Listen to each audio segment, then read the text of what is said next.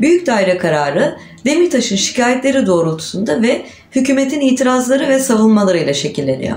Avrupa Konseyi İnsan Hakları Komiserinin yanı sıra Parlamentolar Arası Birlik, İnsan Hakları İzleme Örgütü ve ifade özgürlüğü alanında çalışan Article 19 davaya müdahil olarak yazılı görüş veriyor.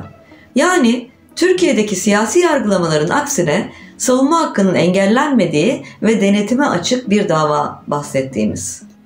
Mahkeme Demirtaş'ın 4 Kasım 2016'dan bu yana tutukluluğunun Avrupa İnsan Hakları Sözleşmesi'nin 5. maddesinin 1 ve 3. fıkralarını, 10 ve 18. maddelerini ve sözleşmeye ek bir nolu protokolün 3. maddesini ihlal edildiğine hükmediyor. Yani bu ne demek? Burada hangi ihlallerden bahsediyoruz? Kısaca anlatalım. Birincisi, sözleşmenin 10. maddesinde güvence altına alınan ifade özgürlüğü ihlal edilmiştir. Demirtaş milletvekili olarak yaptığı siyasi beyanlarından dolayı tutukludur.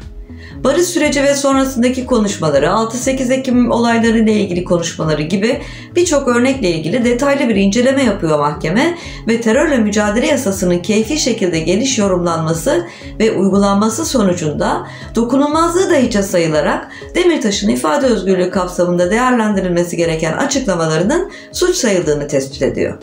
Dokunulmazlıkların kaldırılmasının ise öngörülemez ve tek seferlik bir müdahale olmanın yanı sıra yalnızca muhalefete hedef alacak şekilde kötüye kullanıldığını belirtiyor. Üstelik yerel mahkemelerin suçlama konusu açıklamaların dokunmazlık kapsamında korunduğunun incelenmesi taleplerine rağmen hiçbir inceleme yapmayarak bu ihlalde ısrar ettiğini tespit ediyor. İkincisi, bir nolu protokolün 3. maddesinde güvence altına alınan serbest seçim hakkı ihlal edilmiştir. Mahkeme yeterli gerekçe olmadan suçlamaların siyasi olup olmadığını bakmadan uzun süre hapiste tutarak Demirtaş'ın bir parlamenter ve bir siyasetçi olarak görevini yapmasının engellendiğini söylüyor. Üçüncüsü, sözleşmenin 5. maddesinin 1 ve 3. fıkralarında güvence altına alınan özgürlük ve güvenlik hakkı ihlal edilmiştir.